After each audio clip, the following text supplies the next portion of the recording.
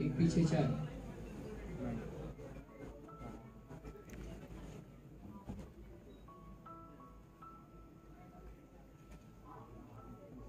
दो प्रकार से। एक तो सफलता की कोई फिक्स रेसिपी नहीं होती है। सफलता की कोई फिक्स रेसिपी नहीं होती। जैसे चाय बनाना है तो पानी लीजिए और उसको गैस पर चूल्हे पर चढ़ा दीजिए। पानी पके, दूध मिलाइए, चाय पत्ती डालिए, अदरक डालिए, चीनी मिलाइए, अगर शुगर नहीं हुआ है, नहीं तो फिर उसको छान के पी लीजिए। चाय बनाने की फिक्स रेसिपी है। सफलता की कोई फिक्स रेसिपी नहीं होती है। आपको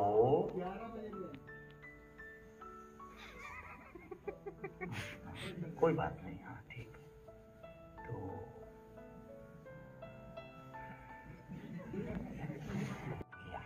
समझिए, हमने जो लक्ष्य निर्धारित किया है,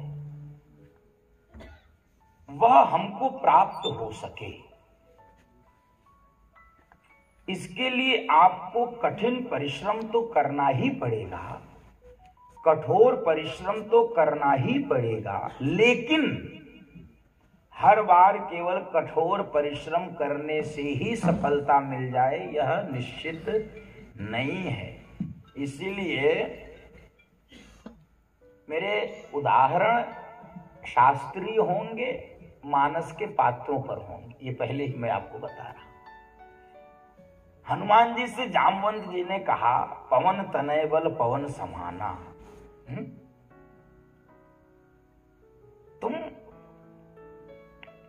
पवन के पुत्र हो, पवन के समान हो। बुद्धि विवेक, विज्ञान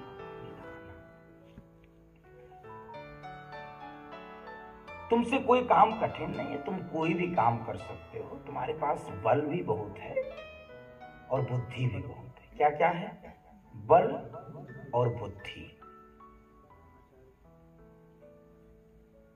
अब सफलता को इसी से जरा नापिए। केवल बल प्रयोग से सफलता मिल जाए, ऐसा नहीं है। तो कभी बुद्धि का भी प्रयोग करना पड़ता है। कभी ट्रिक का प्रयोग।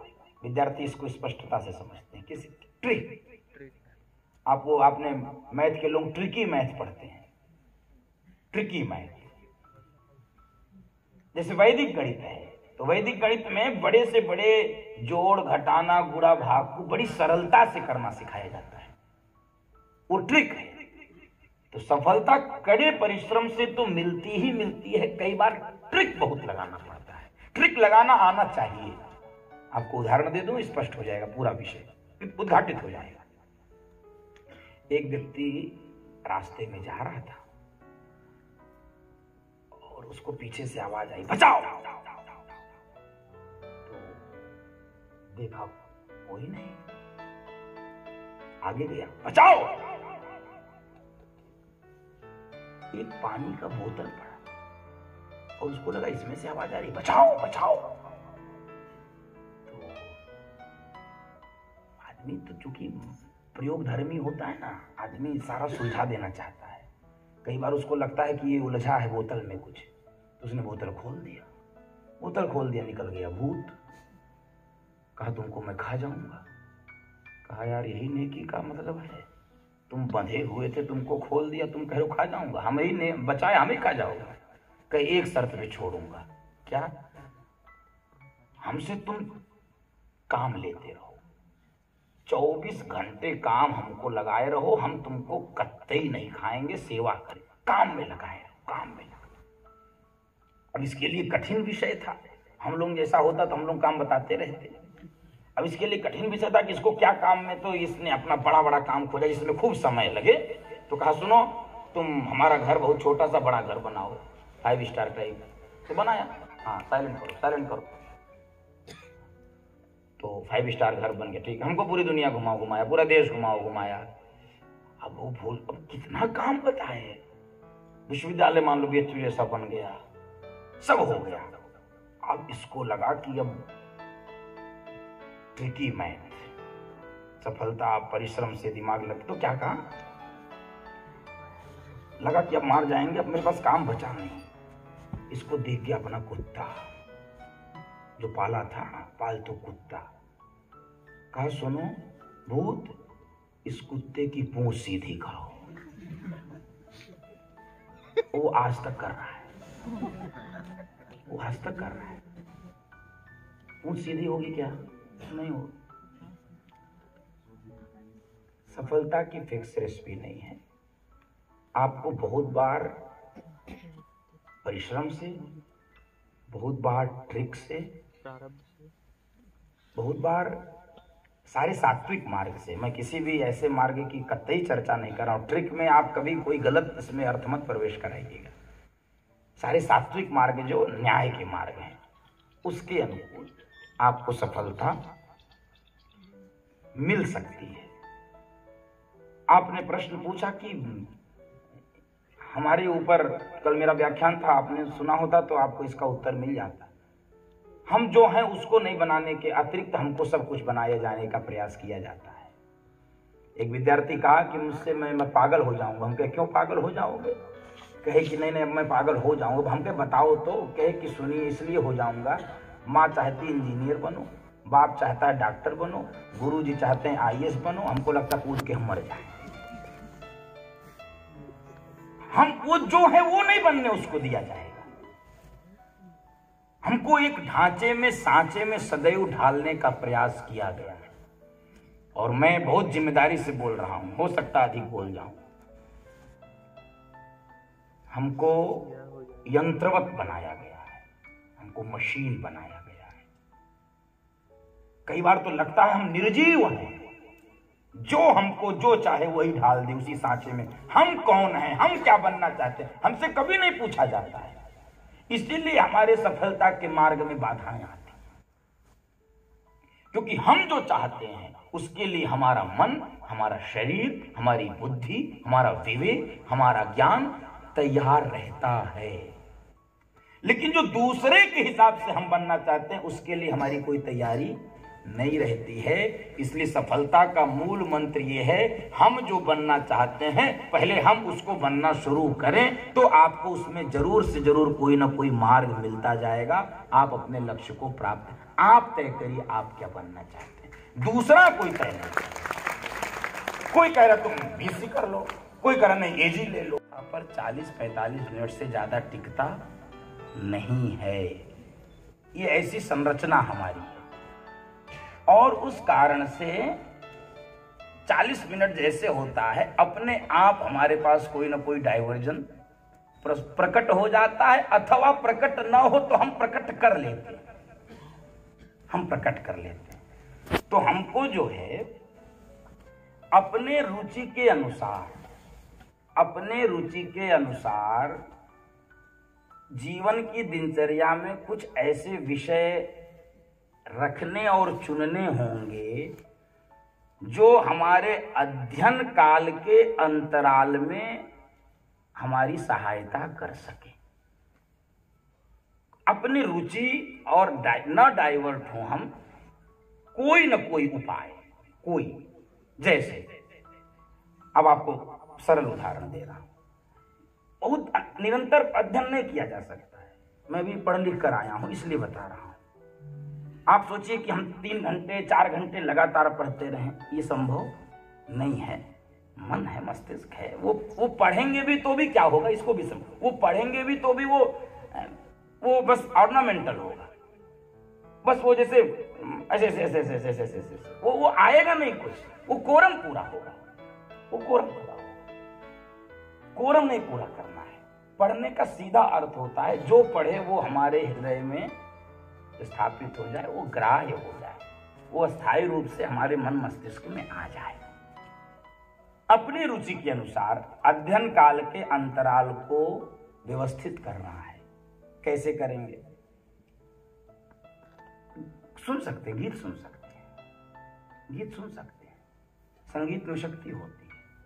संगीत सुन सकते हैं। अपने रुचि के अनुसार। अब संकट क्या है, वो बता दो। अब जब संगीत सुनना शुरू करेंगे एक घंटे बाद तो कई घंटा संगीत ही सुनेंगे। लौट आना है। इसको कहते हैं रिफ्रेशमेंट तो जब रिफ्रेश हो गए, कंप्यूटर में भी रिफ्रेश का बटन होता है। जब रिफ्रेश हो गए तो आपको पुनः अपनी व्यवस्था में लौट आना है। मान लो संगीत नहीं सुन हमारा कोई मित्र है। हमारा कोई साथी है हमारा कोई सहयोगी है हमारा कोई बहुत ऐसा व्यक्ति है जिससे बात करके हमको अच्छा लगता है। हम उससे बात करके खुश होते हैं। बात कर लेंगे। कोई भी हो।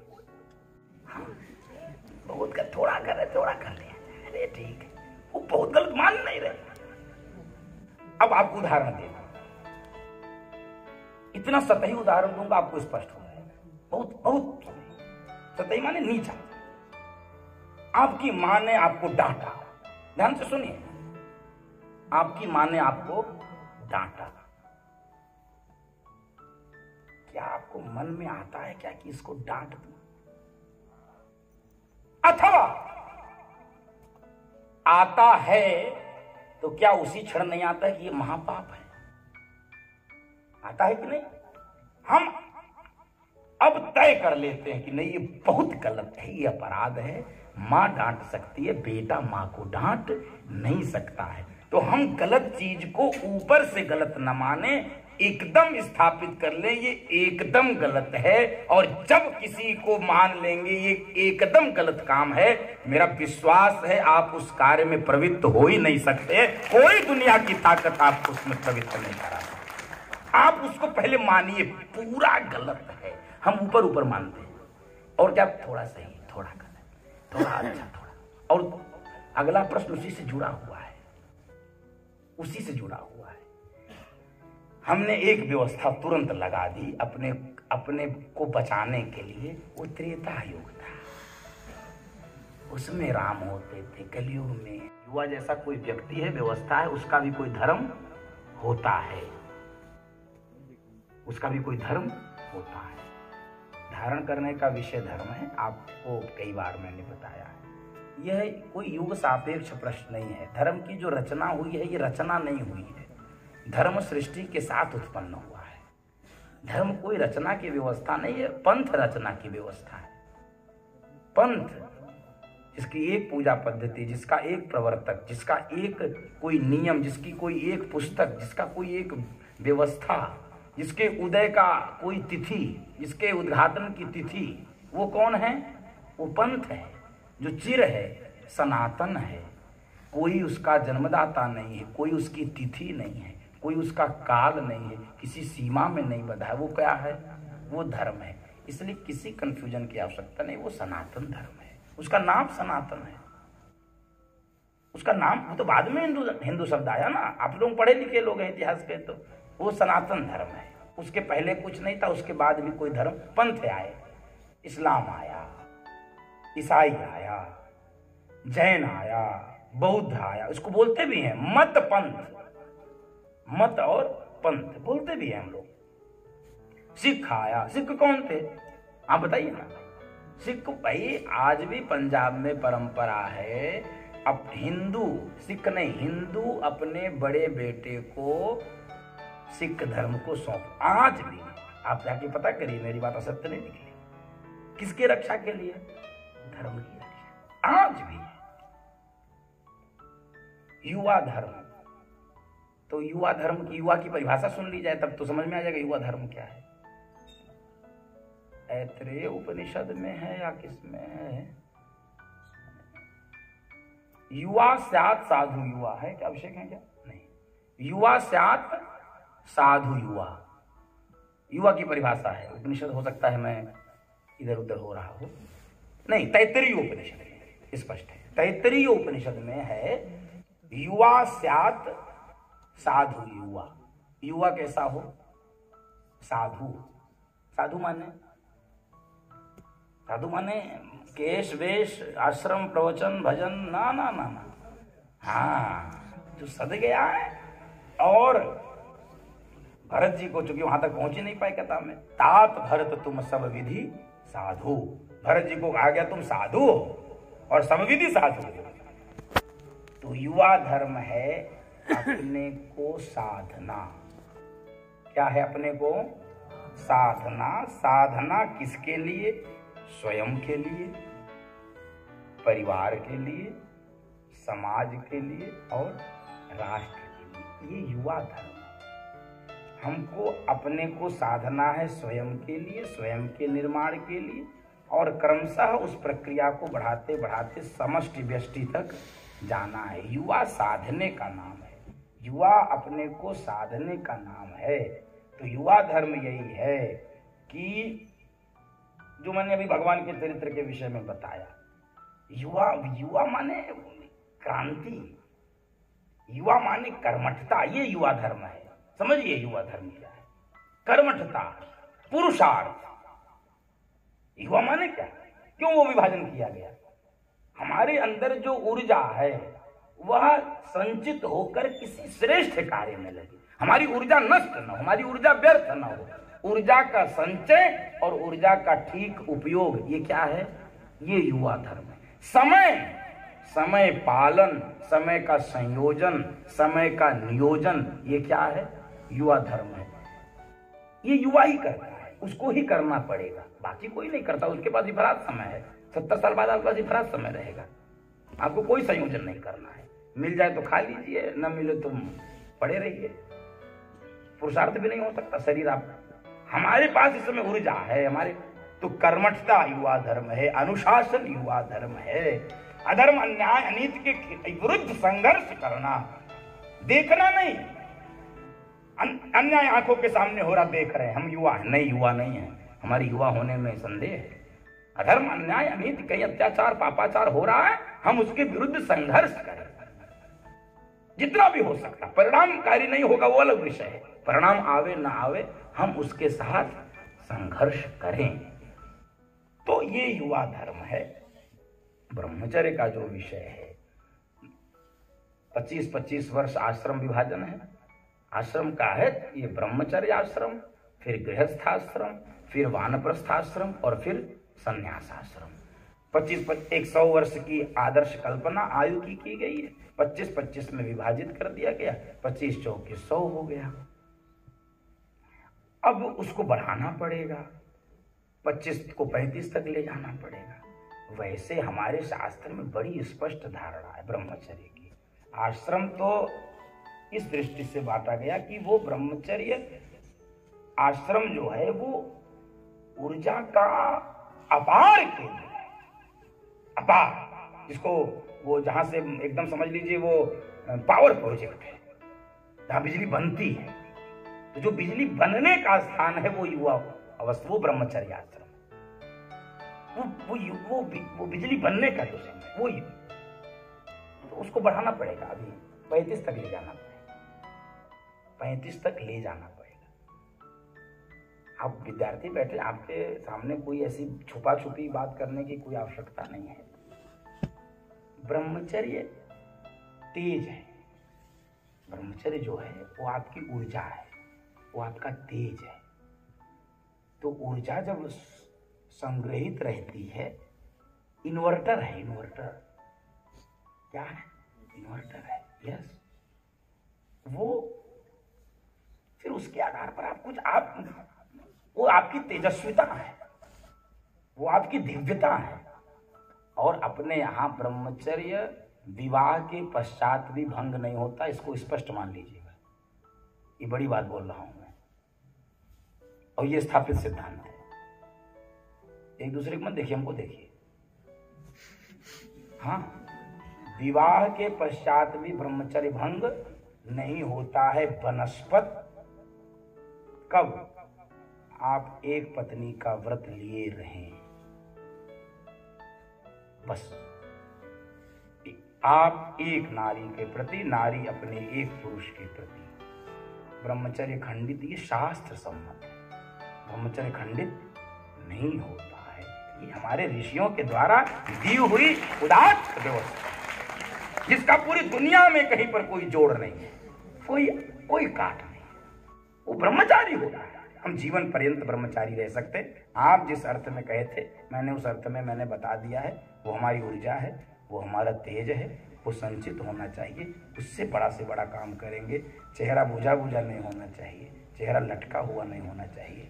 माथे पर एक तेज होना चाहिए, चेहरे पर एक दिव्यता होनी चाहिए। कोई देखे तो उसको, आपको न सर्टिफिकेट वो खुद कहे, ये बड़ा तेजस्वी है, ये ब्रह्मचारी है। ये ये वो खुद कहेगा। इसलिए उस तेज को संरक्षित रखना है। उसी व्यवस्था का नाम ब्रह्मचारी था। ब्रह्मचर्य आश्रम है, क्योंकि हम उस समय अपने लक्ष्य को साधने के लिए लगे रहते हैं। वह लक्ष्य को साधने में सहायक बनेगा। वह आपका तेज है वह आपकी ऊर्जा है, इसलिए उसका संचय वह आश्रम में अनिवार्य है। जिसको 25 से 10 साल में बढ़ाने का आग्रह किया हूँ, वो परिस्थिति काल सापेक्ष परिवर्तन है। 25 से लेकर उसको 35 तक बढ़ाया जाए 35 वर्ष तक। पैंतीस यानी जब तक विवाह आजकल 35 में शुरू हो रहा है।